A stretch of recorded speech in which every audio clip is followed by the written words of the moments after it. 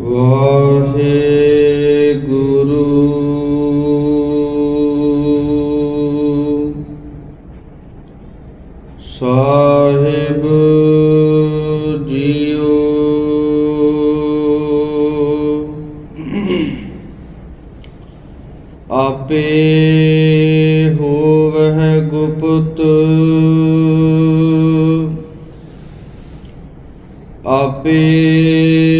ਪ੍ਰਗਟਿਐ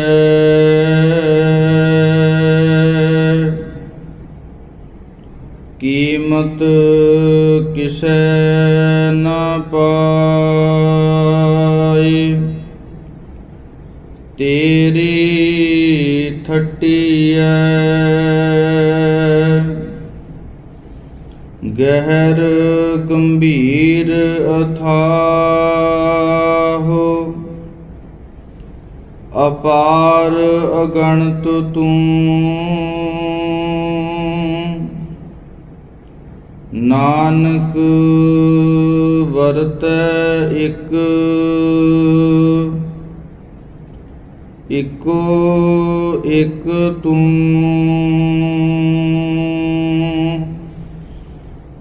ਅਗਮ ਅਗੋਚਰ ਤੂੰ ਧਣੀ। ਸੱਚਾ ਅਲਖ ਅਪਾਰ। ਤੂੰ ਦਾਤਾ ਸਭ ਮੰਗਤੇ। ਇਕੋ ਦੇਵਨ ਹਾਰ। ਕਹਾਂ ਬੁੱਧ ਪ੍ਰਭ ਤੁਛ ਹਮਾਰੀ। ਬਰਨ ਸਕੈ ਮਹਿਮਾ ਜੋ ਤਿਹਾਰੀ। ਹਮ ਨਾ ਸਕਤ ਕਰ ਸਿਫਤ ਤੁਮਾਰੀ। ਆਪ ਲੇ ਤੁਮ ਕਥਾ ਸੁਧਾਰੀ।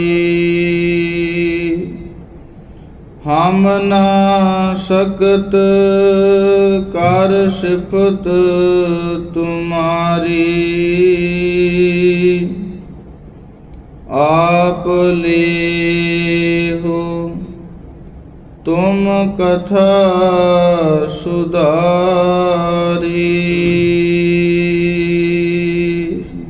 ਸਤਨਾਮ ਸ੍ਰੀ ਵਾਹਿਗੁਰੂ ਸਾਹਿਬ ਜੀਓ ਇੱਕ ਓੰਕਾਰ ਸਤਨਾਮ ਕਰਤਾ ਪੁਰਖ ਨਿਰਭਉ ਨਿਰਵੈਰ। ਅਕਾਲ ਮੂਰਤ ਅਜੂਨੀ ਸੈਭੰ ਗੁਰ ਪ੍ਰਸਾਦ ਜਪ ਆਦ ਸੱਚ ਜੁਗਾਦ ਸੱਚ। ਹੈ ਭੀ ਸੱਚ ਨਾਨਕ ਹੋਸੀ ਭੀ ਸੱਚ? ਆਦ ਸੱਚ, ਜੁਗਾਦ ਸੱਚ, ਹੈ ਭੀ ਸੱਚ। ਨਾਨਕ ਹੋਸੀ ਭੀ ਸੱਚ? ਇੱਕ ਓੰਕਾਰ ਵਾਹਿਗੁਰੂ ਜੀ ਕਾ ਖਾਲਸਾ, ਵਾਹਿਗੁਰੂ ਜੀ ਕੀ ਫਤਿਹ। ਪਰਮ ਸਨਮਾਨਯੋਗ ਸਤਿਗੁਰਾਂ ਦੀ ਸਾਜੀ ਨਵਾਜੀ, ਗੁਰੂ ਕਾ ਖਾਸ ਰੂਪ, ਗੁਰੂ ਖਾਲਸਾ ਗੁਰ ਸੰਗਤ ਜੀਓ। ਆਪਾਂ ਸਤਿਗੁਰੂ ਸਹਿਬਾਨ ਜੀ ਦੀ ਕਿਰਪਾ, ਮਿਹਰ, ਬਖਸ਼ਿਸ਼ ਨੂੰ ਪ੍ਰਾਪਤ ਕਰਦਿਆਂ ਹੋਇਆਂ ਸਤਿਗੁਰਾਂ ਦੇ ਪਾਵਨ ਹਜੂਰ ਅੰਮ੍ਰਿਤ ਵੇਲੇ ਦੀਵਾਨਾਂ ਦੇ ਵਿੱਚ ਪਹੁੰਚ ਕਰਕੇ ਆਪਣੇ ਜੀਵਨ ਦੀਆਂ ਅਮੋਲਕ ਘੜੀਆਂ ਨੂੰ ਸਫਲ ਕਰਨ ਦਾ ਜਿਹੜਾ ਯਤਨ ਹੈ, ਉਹ ਕਰ ਰਹੇ ਹਾਂ। ਪਾਵਨ ਗੁਰਬਾਣੀ ਦੇ ਅੰਦਰ ਜੋ ਪਾਵਨ ਲੜੀਵਾਰ ਕਥਾ ਵਿਚਾਰ ਪ੍ਰਾਰੰਭ ਹੋਈ ਹੋਈ ਹੈ, ਜਿਸ ਦੇ ਵਿੱਚ ਆਪਾਂ ਗੁਰਸਿੱਖ ਰਲ ਮਿਲ ਕਰਕੇ ਉਸ ਇੱਕ ਅਕਾਲ ਪੁਰਖ ਵਾਹਿਗੁਰੂ ਦੇ ਗੁਣਾਂ ਨੂੰ ਗਾਉਣ ਦੇ ਲਈ ਵਾਹਿਗੁਰੂ ਦੇ ਗੁਣਾਂ ਦੀ ਸਿਫਤ ਸਲਾਹ ਕਰਨ ਦੇ ਲਈ ਇਕੱਤਰਤ ਹੁੰਦੇ ਹਾਂ। ਕਿਉਂਕਿ ਸਤਿਗੁਰੂ ਸਹਿਬਾਨ ਜੀ ਦੀ ਪਾਵਨ ਗੁਰਬਾਣੀ ਦਾ ਵਾਕ ਆਪਾਂ ਪੜ੍ਹਦੇ ਸੁਣਦੇ ਹਾਂ ਕਿ ਨਾਨਕ ਗਾਵੀਐ ਗੁਣੇ ਨਿਧਾਨ। ਨਾਲੇ ਉਸ ਪਰਮੇਸ਼ਰ ਵਾਹਿਗੁਰੂ ਦੇ ਨਾਮਾਂ ਦੇ ਵਿੱਚੋਂ ਇੱਕ ਵਾਹਿਗੁਰੂ ਦਾ ਨਾਮ ਗੁਣ ਨਿਧਾਨ ਕਰਕੇ ਵੀ ਹੈ।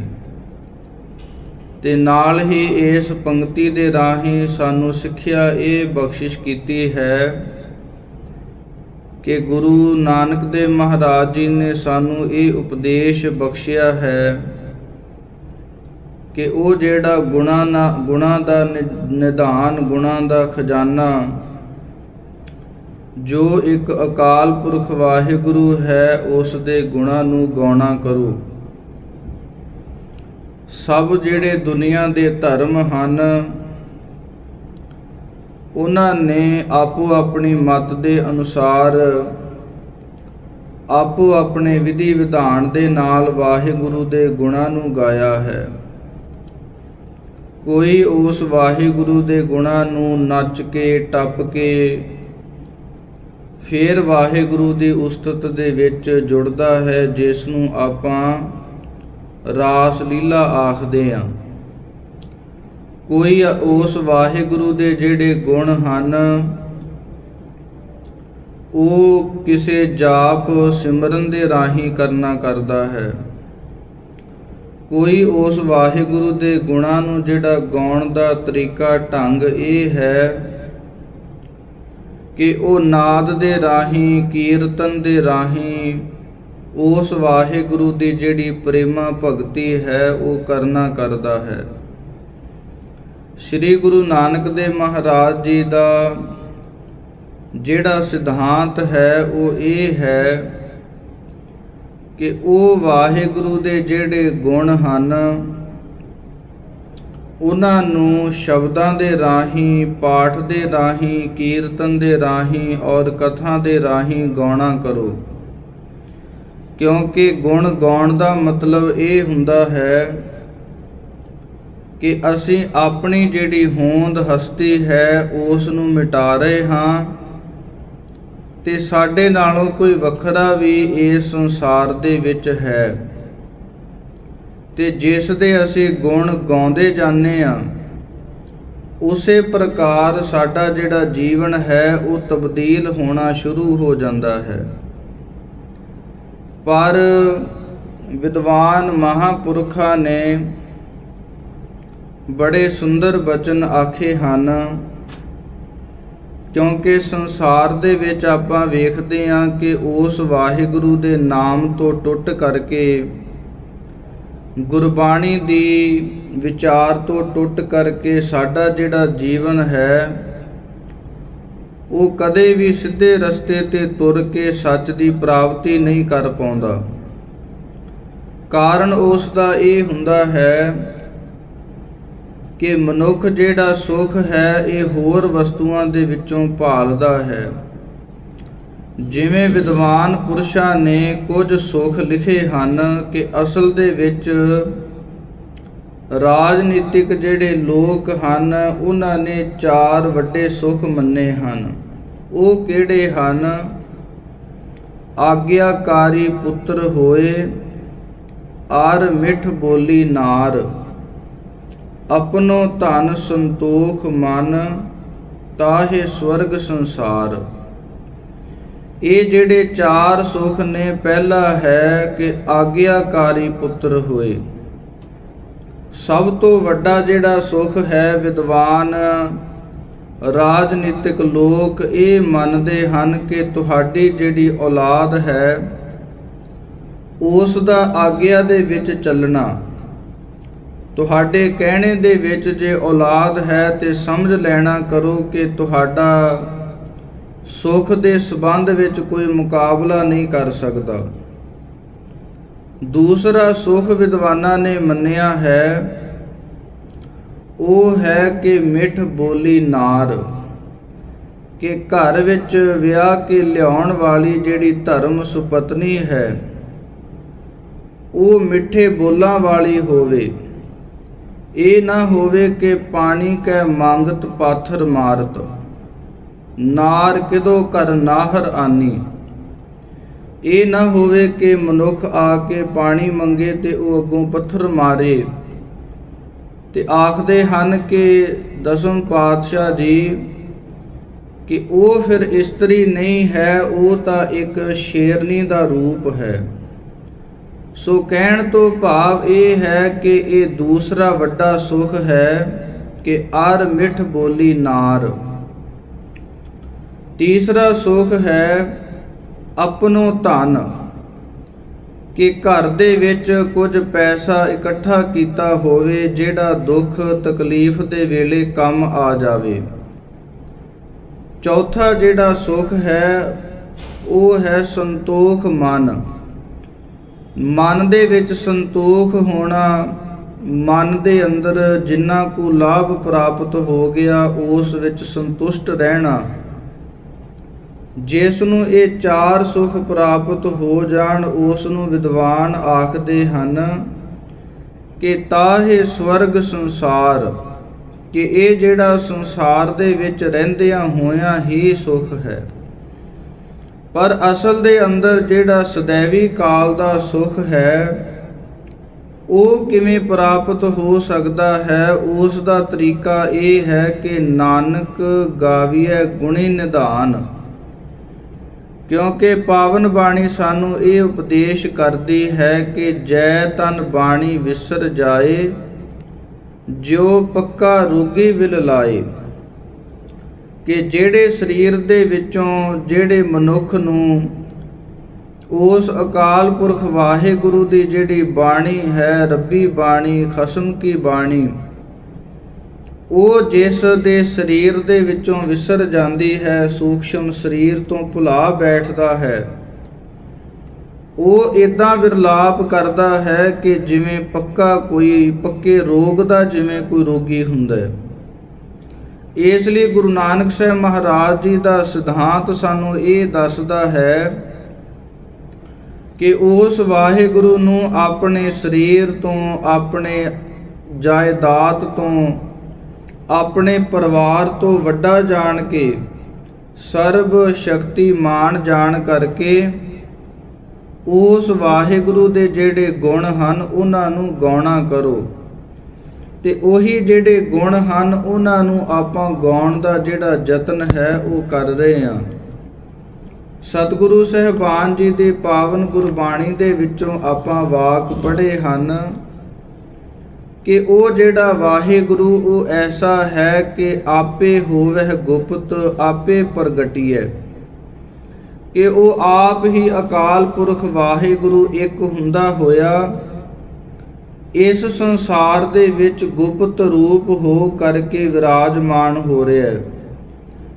ਤੇ ਆਪ ਹੀ ਇਹਨਾਂ ਮਨੁੱਖਾਂ ਦੇ ਰਾਹੀਂ ਇਹ ਚੱਲਦੀਆਂ ਹੋਈਆਂ ਹਵਾਵਾਂ ਦੇ ਰਾਹੀਂ ਪੈਂਦੇ ਹੋਏ ਮੀਹਾਂ ਦੇ ਰਾਹੀਂ ਉਹ ਪ੍ਰਗਟ ਰੂਪ ਹੋ ਕੇ ਵੀ ਦਿਖਾ ਰਿਹਾ ਹੈ।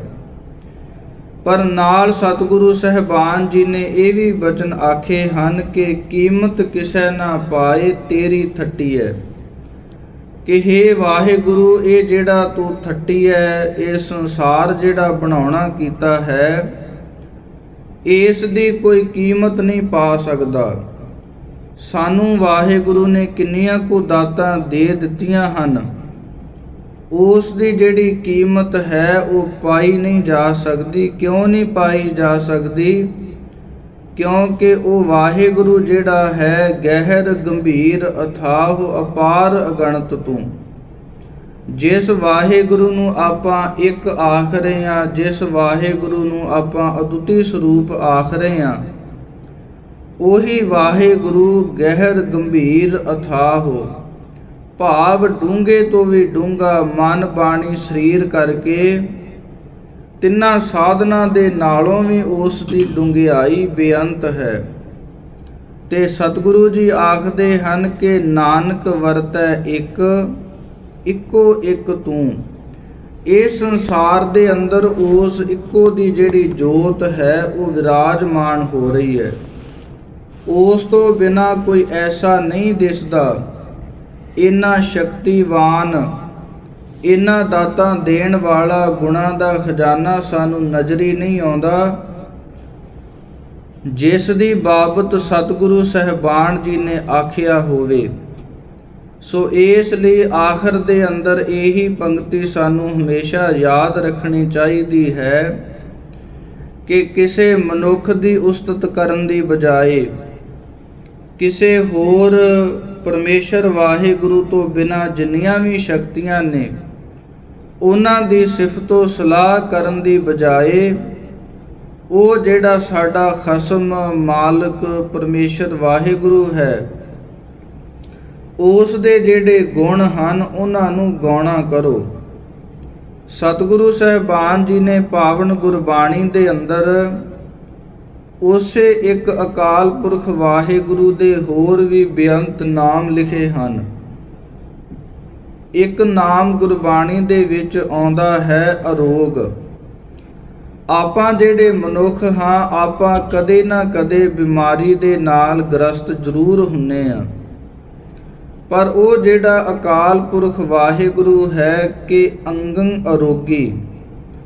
ਉਸ ਵਾਹਿਗੁਰੂ ਦੇ ਸਰਗੁਣ ਸਰੂਪ ਦੇ ਜਿਹੜੇ ਅੰਗ ਪ੍ਰਤੰਗ ਹਨ, ਉਹ ਕਦੇ ਵੀ ਰੋਗ ਦੇ ਨਾਲ ਗ੍ਰਸਤ ਨਹੀਂ ਹੋਣਾ ਕਰਦੇ। ਪਾਵਨ ਆਦ ਬਾਣੀ ਦੇ ਅੰਦਰ ਵੀ ਬਚਨ ਆਉਂਦੇ ਹਨ ਕਿ ਗਨ ਮਿਨ ਦੇਖੋ ਮਨੈ ਮਾਹੇ, ਸਰਪਰ ਚਲਨੋ ਲੋਗ। ਸਤਿਗੁਰੂ ਜੀ ਆਖਦੇ ਨੇ ਕਿ ਭਾਵੇਂ ਤੁਸੀਂ ਹਿਸਾਬ ਕਿਤਾਬ ਲਾ ਕੇ ਦੇਖ ਲੈਣਾ ਕਰੋ ਆਖਰ ਨੂੰ ਇਸ ਮਨੁੱਖ ਨੇ ਬਿਮਾਰੀ ਦੇ ਨਾਲ, ਕਿਸੇ ਦੁਰਘਟਨਾ ਦੇ ਨਾਲ ਗ੍ਰਸਤ ਹੋ ਕਰਕੇ ਇੱਕ ਨਾ ਇੱਕ ਦਿਨ ਜ਼ਰੂਰ ਇਸ ਸੰਸਾਰ ਤੋਂ ਜਾਣਾ ਹੀ ਪੈਣਾ ਹੈ। ਆਸ ਅਨਿਤ ਗੁਰਮੁਖ ਮਿਟੈ। ਪਰ ਸਤਿਗੁਰੂ ਜੀ ਆਖਦੇ ਹਨ ਕਿ ਜਿਹੜੇ ਗੁਰਾਂ ਦੇ ਵੱਲ ਮੁਖ ਕਰਕੇ ਗੁਰਾਂ ਦੇ ਉਪਦੇਸ਼ ਨੂੰ ਮੁੱਖ ਰੂਪ ਦੇ ਵਿੱਚ ਧਾਰਨ ਕਰਦੇ ਹਨ।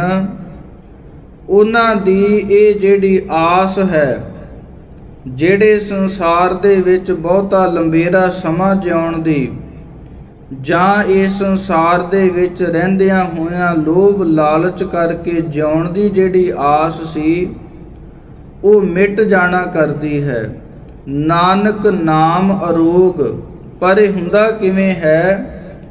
ਇਸ ਦਾ ਕਾਰਨ ਇਸ ਦੀ ਵਜ੍ਹਾ ਕੀ ਬਣਦੀ ਹੈ? ਬਣਦਾ ਹੈ ਉਹ ਜਿਹੜਾ ਅਰੋਗ ਨਾਮ ਹੈ।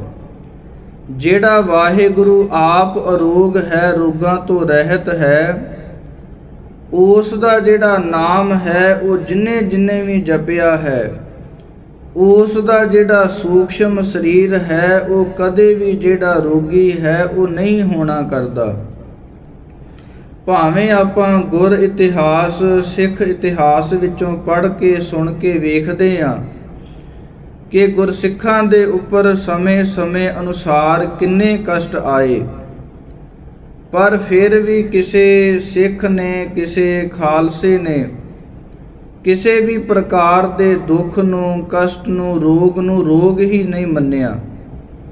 ਕਿਉਂਕਿ ਉਹਨਾਂ ਦਾ ਜਿਹੜਾ ਸੂਖਸ਼ਮ ਸਰੀਰ ਹੈ, ਜਿਹੜਾ ਅੰਦਰ ਬੋਲ ਰਿਹਾ ਹੈ, ਜਿਸ ਨੂੰ ਵਿਦਾਂਤ ਦੀ ਭਾਸ਼ਾ ਦੇ ਅੰਦਰ 17 ਤੱਤਾਂ ਦਾ ਸਰੀਰ ਆਖਦੇ ਹਨ, ਉਹ ਜਿਹੜਾ ਸਰੀਰ ਜਦੋਂ ਅਰੋਗੀ ਹੋ ਜਾਵੇਗਾ, ਬਾਹਰਲੇ ਜਿਹੜੇ ਰੋਗ ਹਨ, ਇਹ ਮਨੁੱਖ ਨੂੰ ਫਿਰ ਤੰਗ ਪਰੇਸ਼ਾਨ ਨਹੀਂ ਕਰ ਸਕਦੇ।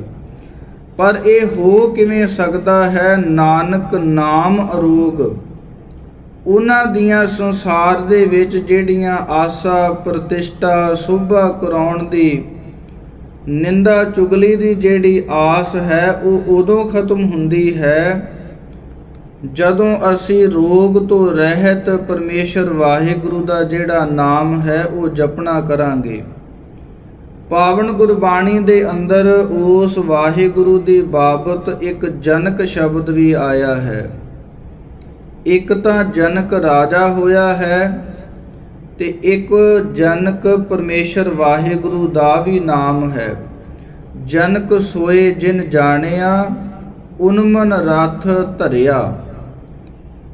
ਕਿ ਉਹ ਵਾਹਿਗੁਰੂ ਜਿਹੜਾ ਆਪਣਾ ਸਰੂਪ ਵੀ ਜਾਣਦਾ ਹੈ ਤੇ ਆਪਣੇ ਸਰੂਪ ਦੇ ਰਾਹੀਂ ਸਾਰਿਆਂ ਨੂੰ ਸੱਤਾ ਦੇ ਕਰਕੇ ਪ੍ਰਕਾਸ਼ਵਾਨ ਕਰਦਾ ਹੈ।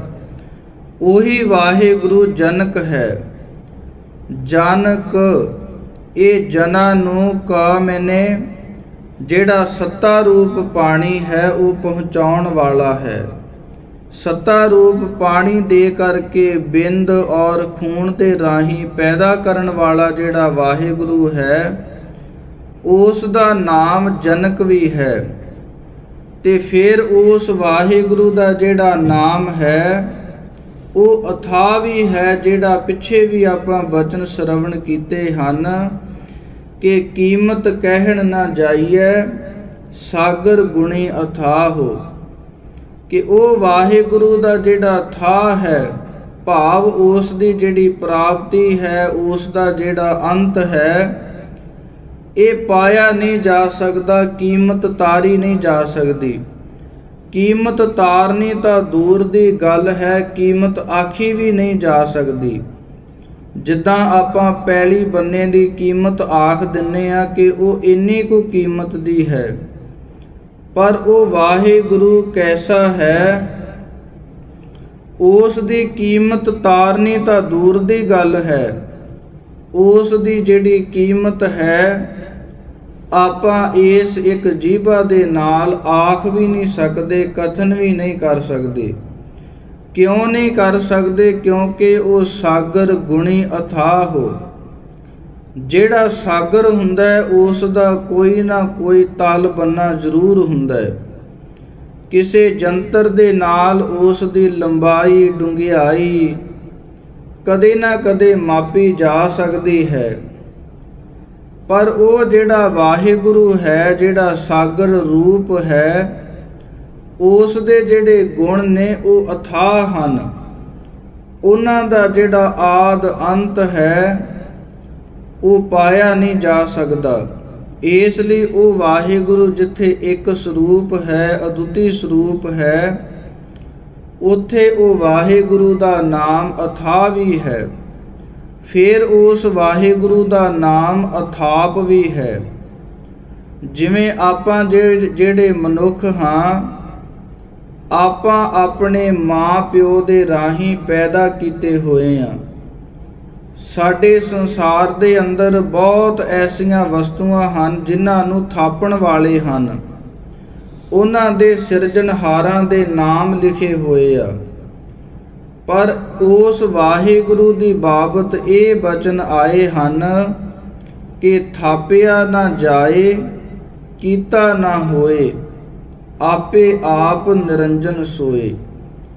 ਉਹ ਵਾਹਿਗੁਰੂ, ਐਸਾ ਹੈ ਕਿਸੇ ਦੇ ਰਾਹੀਂ ਥਾਪਿਆ ਨਹੀਂ ਜਾ ਸਕਦਾ ਤੇ ਕਿਸੇ ਦੇ ਰਾਹੀਂ ਉਸ ਦੀ ਜਿਹੜੀ ਸਿਰਜਣਾ ਹੈ ਉਹ ਕੀਤੀ ਨਹੀਂ ਜਾ ਸਕਦੀ, ਉਹ ਆਪ ਹੀ ਸਿਰਜਣਾਤਮਕ ਹੈ ਤੇ ਆਪ ਹੀ ਸਿਰਜਣਹਾਰ ਹੈ। ਦੋਵੇਂ ਵੱਖਰੋ ਵੱਖਰੀਆਂ ਚੀਜ਼ਾਂ ਹੁੰਦੀਆਂ ਨੇ। ਪੈਦਾ ਹੋਈ ਚੀਜ਼ ਵੱਖਰੀ ਹੁੰਦੀ ਹੈ ਤੇ ਪੈਦਾ ਕਰਨ ਵਾਲਾ ਕੋਈ ਹੋਰ ਹੁੰਦਾ ਹੈ। ਪਰ ਉਹ ਵਾਹਿਗੁਰੂ ਐਸਾ ਹੀ ਅਚਰਜ ਹੈਰਾਨ ਕਰਨ ਵਾਲੀ ਉਸ ਦੀ ਵਿਉਂਤਬੰਦੀ ਹੈ ਕਿ ਉਹ ਆਪ ਹੀ ਆਪਣੇ ਆਪ ਤੋਂ ਪੈਦਾ ਹੋਇਆ ਹੋਇਆ ਹੈ। ਤਾਂ ਕਰਕੇ ਉਸ ਨੂੰ ਆਖਿਆ ਹੈ ਕਿ ਥਾਪਿਆ ਨਾ ਜਾਏ, ਉਹ ਅਥਾਪ ਰੂਪ ਹੈ। ਪਰਮੇਸ਼ਰ ਵਾਹਿਗੁਰੂ ਦਾ ਨਾਮ ਉਦਾਰ ਵੀ ਆਉਂਦਾ ਹੈ, ਸਖੀ ਦਾਤਾ। ਹਰ ਇੱਕ ਦੀ ਸਹਾਇਤਾ ਕਰਨ ਵਾਲਾ ਵੀ ਆਉਂਦਾ ਹੈ। ਤੁਮ ਧਨ ਧਨੀ ਉਦਾਰ ਤਿਆਗੀ ਸ਼ਰਵਨਨ ਸੁਨੀਅਤ ਜਸ ਤੁਮਾਰ। ਕਿ हे ਵਾਹਿਗੁਰੂ, ਤੁਸੀਂ ਜਿਹੜੇ ਧਨੀ ਵੀ ਐਸੇ ਹੋ, ਧਨਤਾ ਦੇ ਜੋਗ ਹੋ, ਤੇ ਨਾਲ ਤੁਸੀਂ ਉਦਾਰ ਤਿਆਗੀ।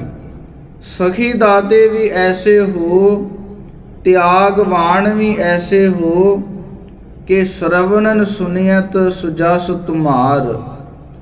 ਤੁਹਾਡਾ ਇਹਨਾਂ ਕੰਨਾਂ ਦੇ ਨਾਲ ਸੁਜਸ ਸ੍ਰੇਸ਼ਟ ਜਿਹੜਾ ਉਪਮਾ ਹੈ, ਜਸ ਹੈ, ਉਹ ਸੁਣਿਆ ਜਾਂਦਾ ਹੈ ਕਿ हे ਵਾਹਿਗੁਰੂ, ਤੁਸੀਂ ਉਦਾਰ ਸਖੀ ਦਾਤੇ ਐਸੇ ਹੋ ਜਿਨ੍ਹਾਂ ਦਾ ਤੁਹਾਡੇ ਨਾਲ ਕੋਈ ਲੈਣਾ ਦੇਣਾ ਵੀ ਨਹੀਂ ਹੈ। ਉਹਨਾਂ ਦੀ ਵੀ ਤੁਸੀਂ ਔਖੇ ਸਮੇਂ ਸਹਾਇਤਾ ਕਰਨ ਵਾਲੇ ਹੋ। ਪਾਵਨ ਬਾਣੀ ਦੇ ਅੰਦਰ, ਸ੍ਰੀ ਜਾਪ ਸਾਹਿਬ ਦੇ ਅੰਦਰ ਵੀ ਆਪਾਂ ਬਚਨ ਪੜ੍ਹਦੇ ਹਾਂ ਕਿ ਨਮਸਤੰ ਉਦਾਰੇ। ਸ੍ਰੀ ਗੁਰੂ ਗੋਬਿੰਦ ਸਿੰਘ ਮਹਾਰਾਜ ਜੀ ਨੇ ਉਸ ਉਦਾਰੇ ਸਖੀ ਦਾਤੇ ਪਰਮੇਸ਼ਰ ਵਾਹਿਗੁਰੂ ਨੂੰ ਜਿਹੜੀ ਨਮਸਕਾਰ ਹੈ ਉਹ ਕਰਨਾ ਕੀਤੀ ਹੈ। ਕਿਉਂਕਿ ਜਿਹੜੀ ਨਮਸਕਾਰ ਹੈ ਉਹ ਹਮੇਸ਼ਾ ਹੀ ਆਪਣੇ ਤੋਂ ਵੱਡਿਆਂ ਨੂੰ ਜਾਣ ਕੇ ਉਹਨਾਂ ਨੂੰ ਨਮਸਕਾਰ ਕੀਤੀ ਜਾਂਦੀ ਹੈ।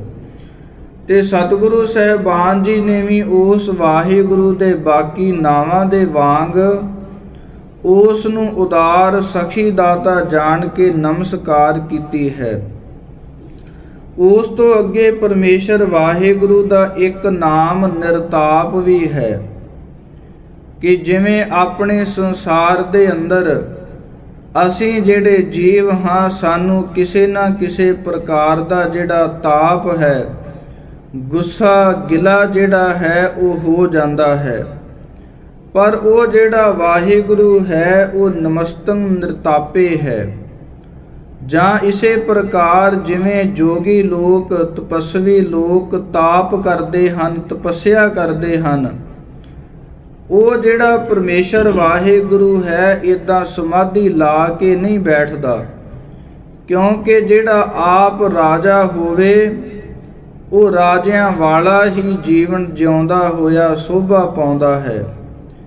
ਇਹ ਜਿੰਨਾ ਵੀ ਜਾਪ ਸਿਮਰਨ, ਜਿੰਨੇ ਵੀ ਗੁਣ ਹਨ, ਇਹ ਪਰਮੇਸ਼ਰ ਵਾਹਿਗੁਰੂ ਨੇ ਸਤਿਗੁਰੂ ਸਹਿਬਾਨ ਜੀ ਦੇ ਰਾਹੀਂ ਸਾਨੂੰ ਗੁਰਸਿੱਖਾਂ ਨੂੰ ਧਾਰਨ ਕਰਨ ਦਾ ਜਿਹੜਾ ਉਪਦੇਸ਼ ਹੈ, ਉਹ ਬਖਸ਼ਿਆ ਹੈ। ਇਹ ਨਹੀਂ ਹੈ ਕਿ ਪਰਮੇਸ਼ਰ ਵਾਹਿਗੁਰੂ ਆਪ ਵੀ ਨਾਮ ਜਪਦਾ ਹੋਵੇਗਾ।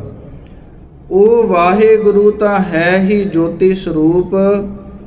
ਉਸ ਦੇ ਗੁਣਾਂ ਨੂੰ ਗਾਇਆ ਜਾ ਸਕਦਾ ਹੈ, ਉਸ ਦੇ ਗੁਣਾਂ ਨੂੰ ਧਾਰਨ ਕੀਤਾ ਜਾ ਸਕਦਾ ਹੈ। ਇਸ ਲਈ ਉਹ ਵਾਹਿਗੁਰੂ ਜਿਹੜਾ ਹੈ, ਉਹ ਨਿਰਤਾਪ ਹੈ। ਫਿਰ ਉਸ ਵਾਹਿਗੁਰੂ ਦਾ ਇੱਕ ਨਾਮ ਗੁਣ ਨਿਧਾਨ ਵੀ ਹੈ। ਗੁਣਾ ਦਾ ਖਜ਼ਾਨਾ ਵੀ ਹੈ ਜਿਸ ਨੂੰ ਗੁਰਬਾਣੀ ਆਖਦੀ ਹੈ ਕਿ ਗੋਵਿੰਦ ਗੁਣੀ ਨਿਧਾਨ ਹੈ, ਅੰਤ ਨਾ ਪਾਇਆ ਜਾਏ। ਆਖਰ ਘੁੰਮ ਘੁਮਾ ਕੇ ਵਿਚਾਰ ਉਥੇ ਹੀ ਆਉਣੀ ਹੈ ਕਿ ਇੱਕ ਅਦੁੱਤੀ ਸਰੂਪ ਜਿਸ ਦੇ ਵਰਗਾ ਹੋਰ ਕੋਈ ਨਾ ਹੋਵੇ, ਜਿਸ ਦਾ ਆਦ ਅੰਤ ਨਾ ਪਾਇਆ ਜਾ ਸਕੇ। ਉਹੀ ਬਚਨ ਸਤਿਗੁਰੂ ਜੀ ਇੱਥੇ ਕਰ ਰਹੇ ਹਨ ਕਿ ਗੋਵਿੰਦ ਗੁਣੀ ਨਿਧਾਨ ਅੰਤ ਨਾ ਪਾਇਆ ਜਾਏ ਕਿ ਉਹ ਜਿਹੜਾ ਇੰਦਰੀਆਂ ਦੀ ਰੱਖਿਆ ਕਰਨ ਵਾਲਾ ਗੁਣਾ ਦਾ ਖਜ਼ਾਨਾ ਜਿਹੜਾ ਵਾਹਿਗੁਰੂ ਹੈ, ਉਸ ਦਾ ਜਿਹੜਾ ਅੰਤ ਹੈ, ਉਹ ਪਾਇਆ ਨਹੀਂ ਜਾ ਸਕਦਾ। ਸਤਿਗੁਰੂ ਸਹਿਬਾਨ ਜੀ ਨੇ ਇਸੇ ਸ਼ਬਦ ਦੇ ਅੰਦਰ ਇੱਕ ਹਦਾਇਤ ਵੀ ਕੀਤੀ ਹੈ ਕਿ ਕਥਨੀ ਬਦਨੀ ਨਾ ਪਾਈਐ, ਹਉਮੈ ਵਿੱਚ ਹੋ ਜਾਏ।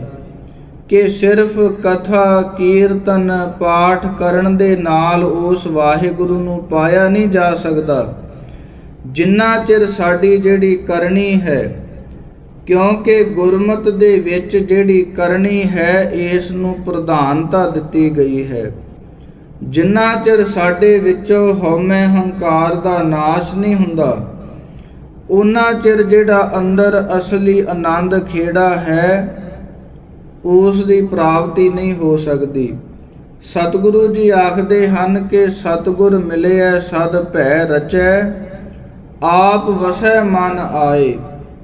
ਕਿ ਜਿਨ੍ਹਾਂ ਮਨੁੱਖਾਂ ਨੂੰ ਜਨਮ ਤੇ ਮਰਨ ਦਾ ਜਿਹੜਾ ਭੈ, ਉਹਨਾਂ ਦੇ ਹਿਰਦੇ ਦੇ ਅੰਦਰ ਜਿਨ੍ਹਾਂ ਦੇ ਵਸ ਜਾਵੇ, ਉਸ ਨੂੰ ਸਤਿਗੁਰੂ ਸਹਿਬਾਨ ਜੀ ਦੇ ਰਾਹੀਂ ਆਪ ਪਰਮੇਸ਼ਰ ਵਾਹਿਗੁਰੂ, ਉਹਨਾਂ ਦੇ ਮਨ ਦੇ ਅੰਦਰ ਪ੍ਰਤੱਖ ਰੂਪ ਹੋ ਕੇ ਵਸ ਜਾਣਾ ਕਰਦੇ ਹਨ। ਪਰ ਹੋਵੇਗਾ ਕਦੋਂ ਜਦੋਂ ਅਸੀਂ ਇਸ ਸਿਧਾਂਤ ਨੂੰ ਆਪਣੇ ਮਨ ਦੇ ਵਿੱਚ ਧਾਰਨ ਕਰ ਲਵਾਂਗੇ, ਉਹ ਕਿਹੜਾ ਹੈ? ਗਾਵੀਐ, ਸੁਣੀਐ, ਮਨ ਰਖੀਐ ਭਾਉ।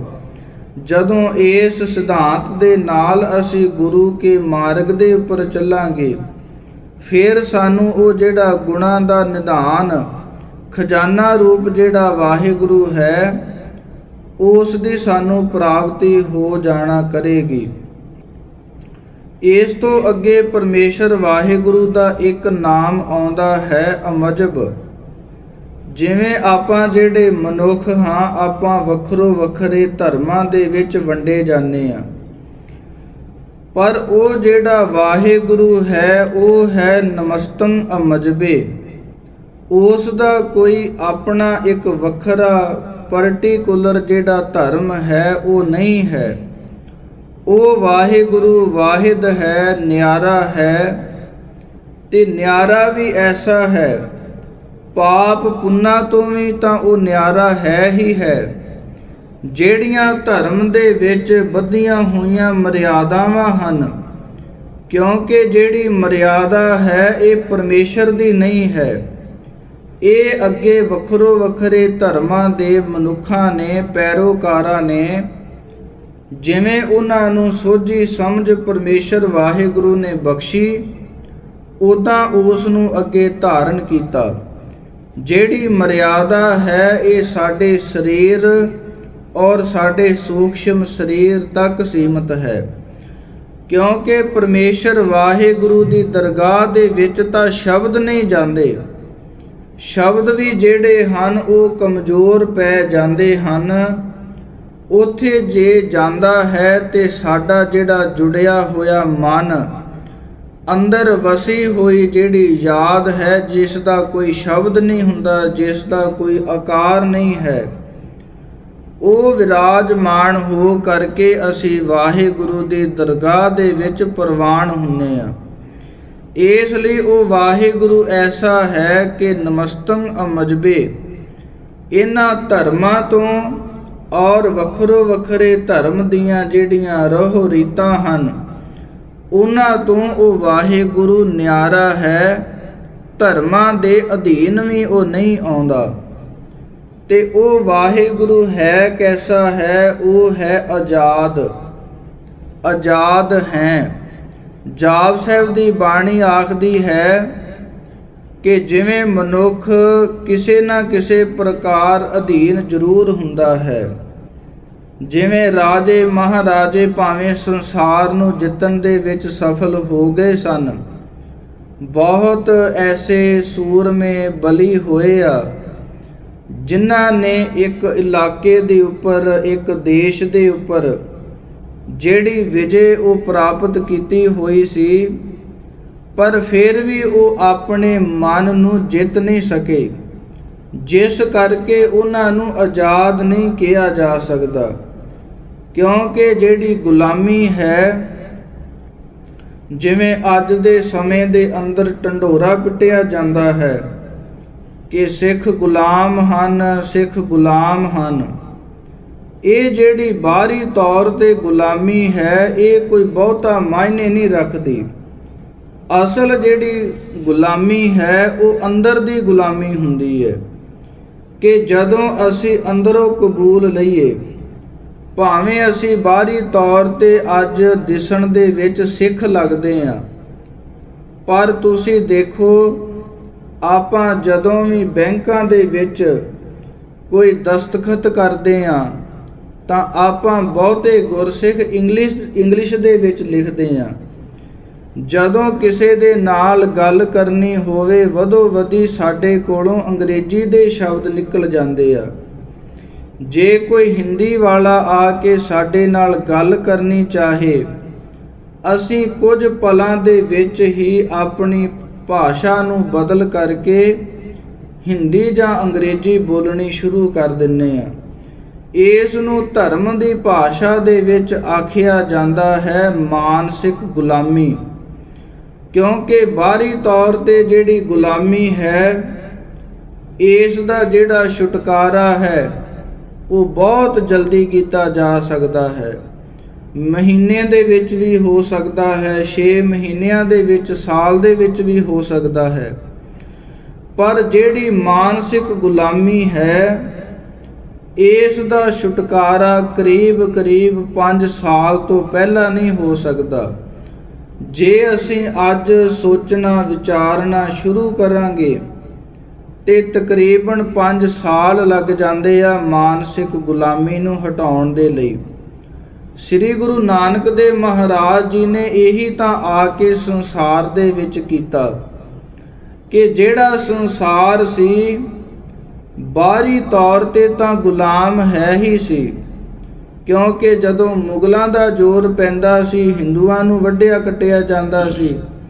ਜਦੋਂ ਹਿੰਦੂ ਰਾਜਿਆਂ ਦਾ ਜ਼ੋਰ ਪੈਂਦਾ ਸੀ, ਉਦੋਂ ਮੁਸਲਮਾਨਾਂ ਨੂੰ ਤੇ ਰਾਜਨੀਤਿਕ ਲੋਕਾਂ ਨੇ ਧਰਮਾਂ ਦੇ ਨਾਂ ਤੇ ਬੇਅੰਤ ਜਿਹੜੀ ਪ੍ਰਜਾ ਹੈ, ਉਸ ਨੂੰ ਮਰਵਾਇਆ ਹੈ।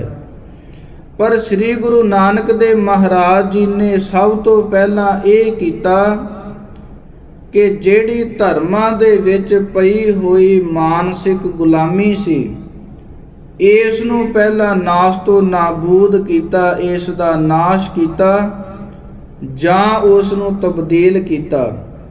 ਸਤਿਗੁਰੂ ਸਹਿਬਾਨ ਜੀ ਨੇ ਸਮਝਾਇਆ ਕਿ ਉਹ ਜਿਹੜਾ ਅਰਬਾਂ ਮੀਲ ਦੂਰ ਜਿਹੜਾ ਸੂਰਜ ਹੈ ਉਸ ਨੂੰ ਪਾਣੀ ਨਹੀਂ ਪਹੁੰਚਾਇਆ ਜਾ ਸਕਦਾ। ਜਿਹੜੇ ਕੋਈ ਤੁਹਾਡੇ ਲਾਗੇ ਪਿਆਸੇ ਲੋੜਵੰਦ ਜਿਹੜੇ ਜੀਵ ਹਨ, ਜਿਨ੍ਹਾਂ ਦੇ ਵਿੱਚ ਉਹ ਪਰਮੇਸ਼ਰ ਵਾਹਿਗੁਰੂ ਦੀ ਜੋਤ ਹੈ, ਪਾਣੀ ਉਹਨਾਂ ਨੂੰ ਪਿਆਓ। ਸਤਿਗੁਰੂ ਸਹਿਬਾਨ ਜੀ ਨੇ ਸਾਨੂੰ ਜਿਹੜੀ ਮਾਨਸਿਕ ਗੁਲਾਮੀ, ਜਿਹੜੀ ਸਾਡੇ ਹਿਰਦਿਆਂ ਦੇ ਵਿੱਚ ਘਰ ਕੀਤੀ ਹੋਈ ਸੀ ਉਸ ਗੁਲਾਮੀ ਨੂੰ ਨਾਸ਼ ਕਰਨ ਦੇ ਲਈ 10 ਜਾਮੇ ਜਿਹੜੇ ਉਹ ਧਾਰਨ ਕੀਤੇ। ਸੋ ਰਹਾਉ ਵਿਚਾਰ, ਉਹ ਜਿਹੜਾ ਪਰਮੇਸ਼ਰ ਵਾਹਿਗੁਰੂ ਹੈ, ਉਹ ਆਜ਼ਾਦ ਹਸਤੀ ਹੈ। ਕੋਈ ਸਿੱਖ ਇਹ ਨਹੀਂ ਦਾਵਾ ਕਰ ਸਕਦਾ ਕਿ ਵਾਹਿਗੁਰੂ ਕੱਲਾ ਸਾਡਾ ਹੈ। ਕੋਈ ਮੁਸਲਮਾਨ ਇਹ ਨਹੀਂ ਆਖ ਸਕਦਾ ਕਿ ਖੁਦਾ ਕੱਲਾ ਸਾਡਾ ਹੈ। ਕੋਈ ਹਿੰਦੂ ਵੀਰ ਇਹ ਨਹੀਂ ਆਖ ਸਕਦਾ ਕਿ ਉਹ ਜਿਹੜਾ ਭਗਵਾਨ ਪਰਮੇਸ਼ਰ ਹੈ, ਉਹ ਕੱਲਾ ਸਾਡਾ ਹੈ। ਉਹ ਜਿਹੜਾ ਵਾਹਿਗੁਰੂ ਖੁਦਾ ਪਰਮੇਸ਼ਰ ਹੈ, ਉਹ ਆਜ਼ਾਦ ਹਸਤੀ ਹੈ। ਉਸ ਦੇ ਉੱਪਰ ਜਿਹੜੇ ਧਰਮਾਂ ਦੇ ਨਿਯਮ ਹਨ, ਧਰਮਾਂ ਦੀਆਂ ਜਿਹੜੀਆਂ ਰਹੋ ਰੀਤੀਆਂ ਹਨ, ਉਹ ਲਾਗੂ ਨਹੀਂ ਹੋ ਸਕਦੀਆਂ। ਤੇ ਉਹ ਵਾਹਿਗੁਰੂ ਦਾ ਇੱਕ ਨਾਮ ਮੁਕੰਦੇ ਵੀ ਹੈ। ਜਿਵੇਂ ਚਾਚਰੀ ਛੰਦ ਦੇ ਅੰਦਰ ਸਤਿਗੁਰਾਂ ਨੇ ਬਚਨ ਆਖੇ ਹਨ, ਗੋਬਿੰਦੇ ਮੁਕੰਦੇ ਉਦਾਰੇ ਅਪਾਰੇ। ਕਿ ਉਹ ਵਾਹਿਗੁਰੂ ਜਿੱਥੇ ਸਾਡੀਆਂ ਇਹਨਾਂ ਅੱਖਾਂ ਆਦਿਕ ਜਿਹੜੇ ਸਾਧਨ ਹਨ, ਇਹਨਾਂ ਦੀ ਰੱਖਿਆ ਕਰਨ ਵਾਲਾ ਹੈ, ਉਥੇ ਵਾਹਿਗੁਰੂ ਦਾ ਇੱਕ ਨਾਮ ਮੁਕੰਦੇ ਵੀ ਹੈ। ਮੁਕੰਦੇ ਦਾ ਅਰਥ ਇਹ ਹੁੰਦਾ ਹੈ ਕਿ ਜਿਹੜਾ ਸਾਨੂੰ ਮੁਕਤੀ ਪ੍ਰਦਾਨ ਕਰਨ ਵਾਲਾ ਹੈ, ਜਾਂ ਸਾਡੇ ਜਿਹੜੇ ਦੁੱਖ ਤਕਲੀਫਾਂ ਹਨ, ਉਹਨਾਂ ਨੂੰ ਨਾਸ਼ ਕਰਨ ਵਾਲਾ ਹੈ, ਉਸ ਵਾਹਿਗੁਰੂ ਦੇ ਸਾਨੂੰ ਮੁਕਤ ਕਰਨ ਕਰਕੇ, ਮੁਕਤੀ ਦੀ ਜਿਹੜੀ ਦਾਤ ਹੈ, ਉਹ ਦੇਣ ਕਰਕੇ, ਉਸ ਵਾਹਿਗੁਰੂ ਦਾ ਇੱਕ ਨਾਮ ਮੁਕੰਦੇ ਵੀ ਪੈ ਜਾਣਾ ਕੀਤਾ। ਤੇ ਉਸ ਵਾਹਿਗੁਰੂ ਦਾ ਇੱਕ ਨਾਮ ਰਜਾਇਕ ਵੀ ਹੈ ਕਿ ਉਹ ਵਾਹਿਗੁਰੂ ਸਾਨੂੰ ਸਭਨਾ ਨੂੰ ਜਿਹੜਾ ਰੋਟੀ ਪਾਣੀ ਹੈ, ਉਹ ਦੇਣਾ ਕਰਦਾ ਹੈ। ਜਾਪ ਸਾਹਿਬ ਦੀ ਬਾਣੀ ਦੇ ਅੰਦਰ ਬਚਨ ਆਉਂਦੇ ਹਨ ਕਿ ਰੋਜੀ ਰਜਾਕ ਹੈ ਕਿ ਉਹ ਜਿਹੜਾ ਵਾਹਿਗੁਰੂ ਹੈ, ਉਹ ਸਾਨੂੰ ਸਭਨਾ ਨੂੰ ਜਿਹੜੀ ਰੋਜੀ ਰੋਟੀ ਹੈ, ਉਹ ਦੇਣਾ ਕਰਦਾ ਹੈ। ਪਾਵਨ ਬਾਣੀ ਦੇ ਅੰਦਰ ਬਚਨ ਆਉਂਦੇ ਹਨ ਕਿ ਪਹਿਲੋ ਦੇ ਤੈ ਰਿਜਕ ਸਮਾਹਾ, ਪਿਛੋ ਦੇ ਤੈ ਜੰਤ ਉਪਾਹਾ। ਕਿ ਸਭ ਤੋਂ ਪਹਿਲਾਂ ਪਰਮੇਸ਼ਰ ਵਾਹਿਗੁਰੂ ਨੇ ਸਾਡੀ ਜਿਹੜੀ ਰੋਜੀ ਰੋਟੀ ਹੈ ਉਸ ਨੂੰ ਪੈਦਾ ਕੀਤਾ ਉਸ ਨੂੰ ਸਮਾਹਿਤ ਕੀਤਾ, ਸਾਡੇ ਹਿੱਸੇ ਲਿਖਣਾ ਕੀਤਾ, ਪਿੱਛੋਂ ਤੈ ਜੰਤ ਉਪਾਹਾ। ਉਸ ਤੋਂ ਬਾਅਦ ਇਹ ਜਿਹੜਾ ਮਨੁੱਖ ਹੈ ਇਸ ਨੂੰ ਪੈਦਾ ਕਰਨਾ ਕੀਤਾ। ਤੇ ਇਹ ਪਰਮੇਸ਼ਰ ਵਾਹਿਗੁਰੂ ਦੀ ਇੱਕ ਬੜੀ ਤਗੜੀ ਵਿਉਂਤ ਬੰਦੀ ਹੈ। ਭਾਵੇਂ ਅੱਜ ਦੇ ਸਮਾਜ ਦੇ ਅੰਦਰ ਬਹੁਤ ਸਿਆਣੇ ਪੁਰਸ਼ ਇਹ ਆਖਦੇ ਹਨ ਕਿ ਕੋਈ ਵੀ ਕੰਮ ਕਰਨ ਤੋਂ ਪਹਿਲਾਂ ਤਿਆਰੀ ਕਰਨੀ ਬਹੁਤ ਜ਼ਰੂਰੀ ਹੈ। ਪਰ ਉਹ ਪਰਮੇਸ਼ਰ ਵਾਹਿਗੁਰੂ ਨੇ ਦੇਖੋ, ਜਿੱਥੇ ਇਹਨੇ ਗੁਣਾ ਵਾਲਾ ਬੇਸ਼ਕੀਮਤੀ ਇਹ ਸਰੀਰ ਪੈਦਾ ਕੀਤਾ, ਇਸ ਨੂੰ ਚਲਾਉਣ ਦੇ ਲਈ ਜਿਹੜਾ ਅੰਨ ਪਾਣੀ ਹੈ, ਜਿਸ ਨੂੰ ਪਾਵਨ ਗੁਰਬਾਣੀ ਇਹ ਵੀ ਆਖਦੀ ਹੈ ਕਿ ਜਹਾਂ ਦਾਣੇ, ਤਾਹਾਂ ਖਾਣੇ, ਕਿ ਜਿੱਥੇ ਸਾਡੇ ਜਿਹੜੇ ਦਾਣੇ ਹਨ ਉਹ ਚੁਗਣੇ ਹੀ ਪੈਂਦੇ ਆ।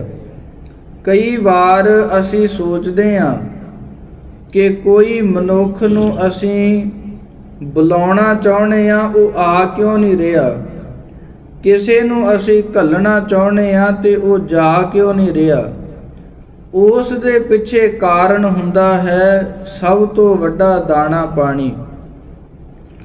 ਕਿਉਂਕਿ ਜਿਹੜਾ ਦਾਣਾ ਪਾਣੀ ਹੈ, ਉਹ ਆਖਰ ਮਨੁੱਖ ਨੂੰ ਚੁਗਣਾ ਹੀ ਪੈਂਦਾ ਹੈ। ਉਹ ਚਾਹੇ ਅਸੀਂ ਹੱਸ ਕੇ ਖਾ ਲਈਏ ਤੇ ਭਾਵੇਂ ਵਾਹਿਗੁਰੂ ਸਾਨੂੰ ਨੂੜ ਕੇ ਲੈ ਆਵੇ। ਉਹ ਆਖਰ ਸਾਨੂੰ ਚੁਗਣਾ ਹੀ ਪੈਂਦਾ ਹੈ। ਸਾਡੀ ਜਿਹੜੀ ਆਪਦੀ ਮਰਜ਼ੀ ਹੈ, ਉਹ ਚੱਲ ਨਹੀਂ ਸਕਦੀ। ਅਸੀਂ ਸਿਰਫ ਸੋਚਾਂ ਵਿਚਾਰਾਂ ਦੇ ਵਿੱਚ ਹੀ ਆਪਣੀ ਜੱਦੋ ਜਹਿਦ ਕਰ ਸਕਦੇ ਹਾਂ। ਪਰ ਉਹ ਵਾਹਿਗੁਰੂ ਦੇ ਉੱਪਰ ਜੇ ਸਾਡਾ ਭਰੋਸਾ ਵੱਧ ਜਾਵੇ ਵਾਹਿਗੁਰੂ ਨੂੰ ਜੇ ਅਸੀਂ ਸਮਰਪਿਤ ਹੋ ਜਾਈਏ, ਤੇ ਸਾਡੇ ਜੀਵਨ ਦੇ ਅੰਦਰ ਜਿਹੜਾ ਆਨੰਦ, ਖੁਸ਼ੀ, ਖੇੜਾ ਹੈ, ਇਹ ਬਹੁਤੇ ਤੋਂ ਬਹੁਤਾ ਪ੍ਰਾਪਤ ਹੋ ਸਕਦਾ ਹੈ। ਤੁਸੀਂ ਆਪਣੇ ਜੀਵਨ ਦੇ ਅੰਦਰ ਕਿਸੇ ਸਮੇਂ ਤਜਰਬਾ ਕਰਕੇ ਵੇਖੋ ਕਿ ਸਤਿਗੁਰੂ ਸਹਿਬਾਨ ਜੀ ਨੂੰ, ਪਰਮੇਸ਼ਰ ਵਾਹਿਗੁਰੂ ਨੂੰ ਹਾਜ਼ਰ ਨਾਜ਼ਰ ਜਾਣ ਕੇ ਇੱਕ ਵਾਰ ਇਹ ਆਖ ਦੇਣਾ ਕਰੋ ਕਿ ਵਾਹਿਗੁਰੂ, ਜਿਵੇਂ ਤੇਰੀ ਮਰਜ਼ੀ ਹੈ, ਸਾਨੂੰ ਉਦਾਂ ਰੱਖ। ਤੂੰ ਸਾਨੂੰ ਉਤਾਰਨਾ ਹੈ ਜਾਂ ਮਾਰਨਾ ਹੈ, ਸਾਨੂੰ ਰਜਾ ਕੇ ਸਾਨੂੰ ਸਵਾਉਣਾ ਹੈ ਜਾਂ ਭੁੱਖੇ ਸਵਾਉਣਾ ਹੈ। ਅਸੀਂ ਆਪਣੇ ਅਨੁਸਾਰ, ਤੁਹਾਡੇ ਹੁਕਮ ਦੇ ਅਨੁਸਾਰ ਅਸੀਂ ਕੰਮ ਕਰਦੇ ਜਾਵਾਂਗੇ।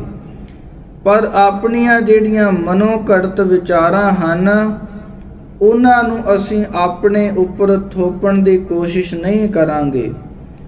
ਇਸ ਦੇ ਨਾਲ ਹੋਵੇਗਾ ਇਹ ਕਿ ਸਾਡਾ ਜਿਹੜਾ ਜੀਵਨ ਹੈ, ਉਹ ਖੁਸ਼ੀਆਂ ਖੇੜਿਆਂ ਦੇ ਨਾਲ ਭਰ ਜਾਵੇਗਾ। ਕਿਉਂਕਿ ਜਿਸ ਦੇ ਸਿਰ ਦੇ ਉੱਪਰ ਮਾਤਾ ਪਿਤਾ ਮੌਜੂਦ ਹੋਣ ਉਸ ਨੂੰ ਕਿਸੇ ਦੀ ਪਰਵਾਹ ਕਰਨ ਦੀ ਲੋੜ ਨਹੀਂ ਹੁੰਦੀ। ਉਸ ਨੂੰ ਪਤਾ ਹੁੰਦਾ ਕਿ ਮੇਰਾ ਪਿਓ ਮੇਰੇ ਸਿਰ ਦੇ ਉੱਪਰ ਹੈ। ਪਰ ਜਿਹੜਾ ਸਾਡੇ ਸਭਨਾ ਦਾ ਮਾਂ ਪਿਓ ਹੈ, ਏਕ ਪਿਤਾ, ਏਕਸ ਕੇ ਹਮ ਬਾਰਕ ਸਾਰੇ ਅਸੀਂ ਉਸ ਪਰਮੇਸ਼ਰ ਵਾਹਿਗੁਰੂ ਦੇ ਪੁੱਤਰ ਹਾਂ ਤੇ ਜਦੋਂ ਉਸ ਨੂੰ ਅਸੀਂ ਪਿਤਾ ਰੂਪ ਮੰਨ ਲੈਣਾ ਕੀਤਾ ਸਾਡੇ ਜੀਵਨ ਦੇ ਅੰਦਰ ਜਿੰਨੇ ਵੀ ਦੁੱਖ ਤਕਲੀਫਾਂ ਹਨ, ਉਹ ਨਾਸ਼ ਹੋ ਜਾਣਗੀਆਂ। ਤੁਧ ਜੇਵਡ ਦਾਤਾ ਅਵਰ ਨਾ ਸੁਆਮੀ, ਲਵੈ ਨਾ ਕੋਈ ਲਾਵਣਿਆ। ਕਿ ਵਾਹਿਗੁਰੂ ਤੇਰੇ ਵਰਗਾ ਸੁਆਮੀ, ਤੇਰੇ ਵਰਗਾ ਮਾਲਕ, ਇਸ ਸੰਸਾਰ ਦੇ ਵਿੱਚ ਹੋਰ ਕੋਈ ਵੀ ਨਹੀਂ ਹੈ। ਤੁਹਾਡੀ ਜਿਹੜੀ ਤੁਲਨਾ ਹੈ ਉਸ ਦੇ ਬਰਾਬਰ ਕਿਸੇ ਹੋਰ ਦੀ ਤੁਲਨਾ ਨਹੀਂ ਕੀਤੀ ਜਾ ਸਕਦੀ। ਹੋਰ ਸਾਰੇ ਮਨੁੱਖ, ਦੇਵੀ ਦੇਵਤੇ, ਪੀਰ ਪੈਗੰਬਰ, ਵਾਹਿਗੁਰੂ ਤੇਰੇ ਹੀ ਪੈਦਾ ਕੀਤੇ ਹੋਏ ਆ। ਤੂੰ ਹੀ ਸਭਨਾਂ ਦਾ ਦਾਤਾ ਹੈ ਸਭ ਨੂੰ ਰੋਜੀ ਰੋਟੀ ਦੇਣ ਵਾਲਾ ਹੈ। ਇਸ ਕਰਕੇ ਉਸ ਵਾਹਿਗੁਰੂ ਦਾ ਨਾਮ ਰਜਾਕ ਵੀ ਪੈ ਗਿਆ।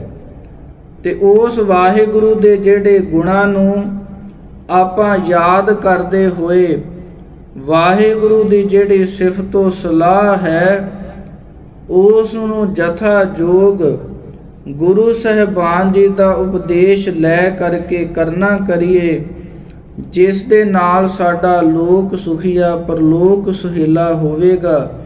ਵਿਚਾਰਾਂ ਕਰਦਿਆਂ ਤੋਂ ਹੋਈਆਂ ਬੇਅੰਤ ਭੁੱਲਾਂ ਦੀ ਖਿਮਾ ਆਪ ਸੰਗਤ ਸਤਿਗੁਰੂ ਸਹਿਬਾਨ ਜੀ, ਬਖਸ਼ਣ ਯੋਗ ਹਨ, ਬਖਸ਼ ਲੈਣਾ ਜੀ। ਫਤਿਹ ਬੁਲਾ ਕਰਕੇ ਅਰਦਾਸ ਵਿੱਚ ਜੁੜਨਾ ਕਰੀਏ। ਵਾਹਿਗੁਰੂ ਜੀ ਕਾ ਖਾਲਸਾ। ਵਾਹਿਗੁਰੂ ਜੀ ਕੀ ਫਤਿਹ।